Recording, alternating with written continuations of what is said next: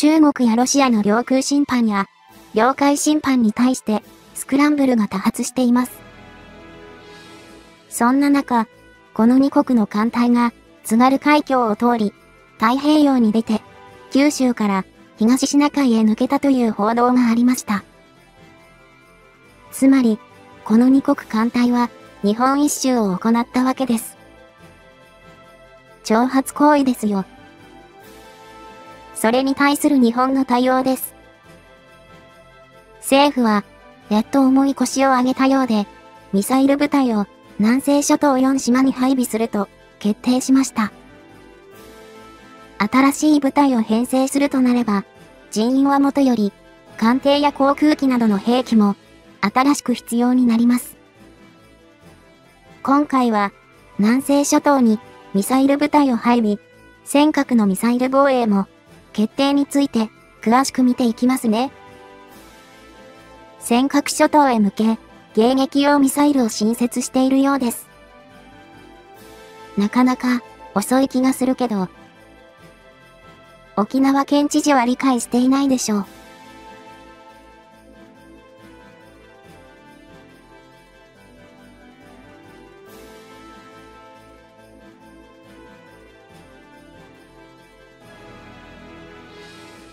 日本の防衛費は、今まで GDP 国民総生産1%以内というのが基準でした。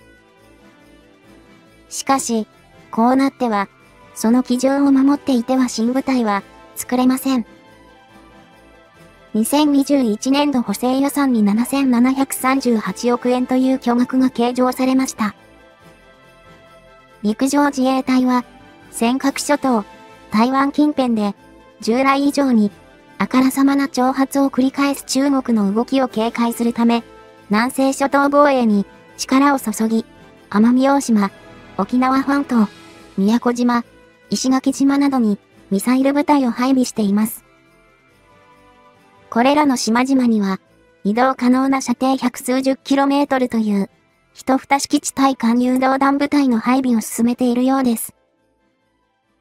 そして中国が虎視眈々と狙っている台湾も無視できません。日本の中で最も台湾に近い与那国島に沿岸監視部隊がすでに配置されているのですが、追加として天使戦部隊が配備されます。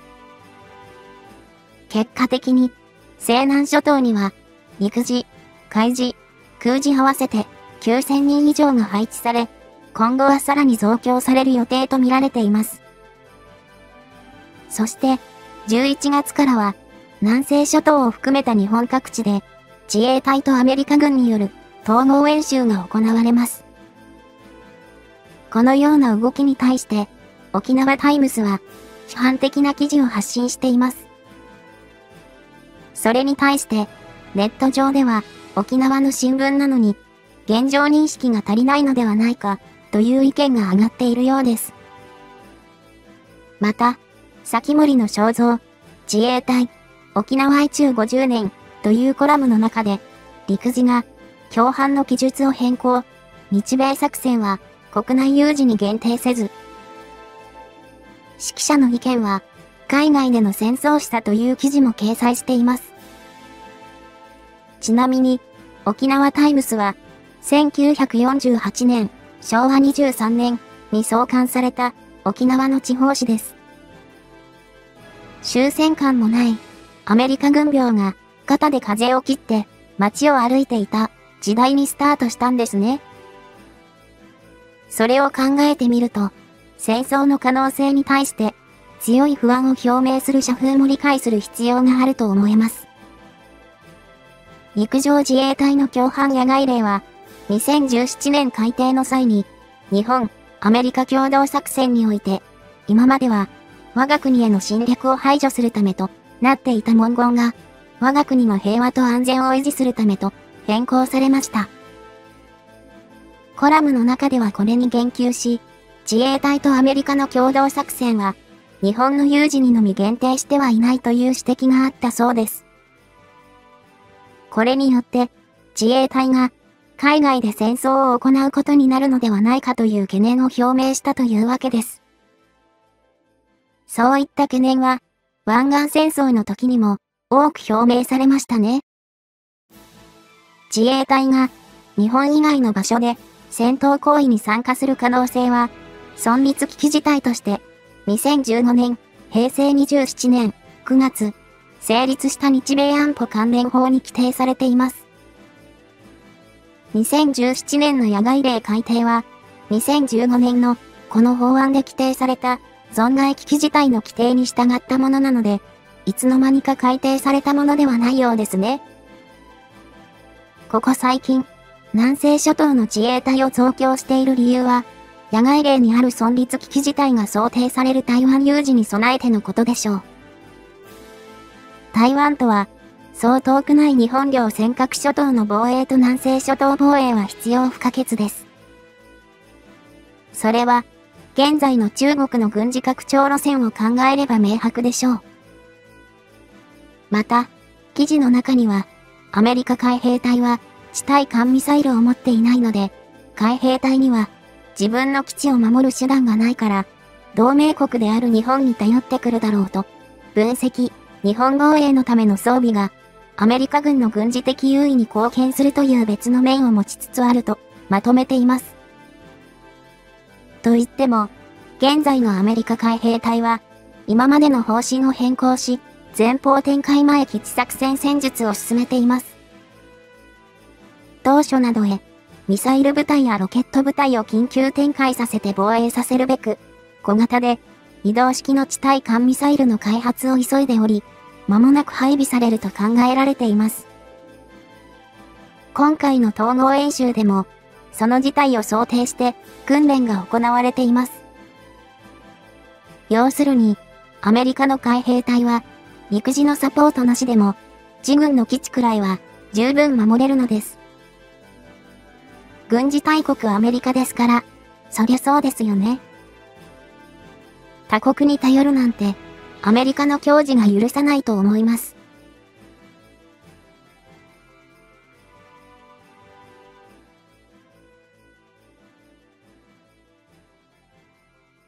実は、沖縄タイムスの記事の勘違いは、もう一つあるのです。第一列島線についての認識です。記事によると、自衛隊が、与那国島から奄美大島までの琉球湖の島々に展開する南西シフトは、中国が太平洋に進出することを日本、アメリカで防ぐ第一列島線と位置づけられているというのですが、これはとんでもない間違いです。第一列島線とは、中国が勝手に打ち出した戦力展開の目標ラインで、アメリカが第一列島線と名付けたというだけです。日本は何も関わってはいません。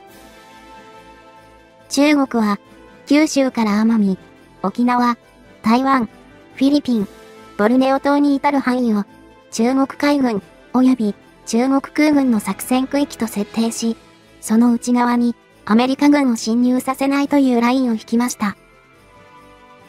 つまりは、中国の対アメリカ国防ラインということです。言うまでもなく、奄美大島も沖縄も日本領です。中国は勝手に日本の領土を線引きしたわけです。九段線を連想させますね。この事実をきちんと認識してもらいたいものです。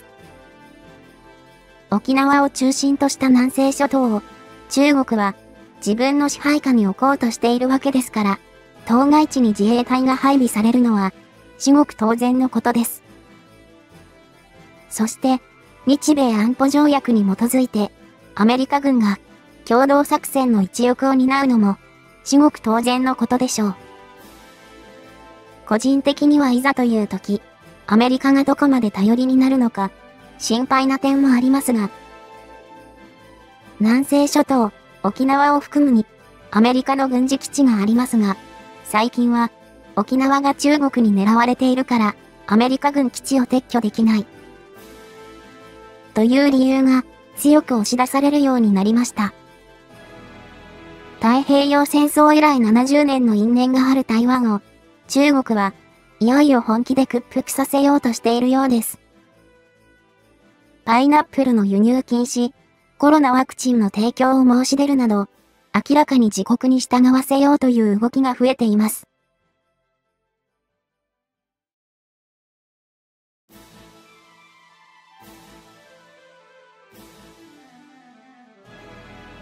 中国が台湾に侵攻を始めたら、ついでに尖閣諸島だけではなく南西諸島、もしくは先島諸島から沖縄本島までの空港のある島々にも侵攻してくる可能性は高いと思われます。万が一、そうなった時に、アメリカ軍や自衛隊が南西諸島から撤退していたとしたら、中国軍は喜んで進駐してくるでしょう。中国か日本かの間で、去就を選択させられることが長かった沖縄ですが、再び中国に編入されてしまうと、危惧する意見も多いのです。戦争が起きないことが一番いいことです。金と人口に物を言わせて、軍備拡張を続けている中国にしたって、本心は戦わずに済めば、日本が屈服し、台湾が支配下に入れば、万々歳なはずです。戦争になったら、人的被害は言うまでもなく、環境被害もありますし、世界的な批判も黙殺できないでしょう。だからこそ、きな臭い日中関係を上手に、互いの顔を潰さずに、妥協点を見つけられる手腕を持つ政治家の登場を期待したいところですね。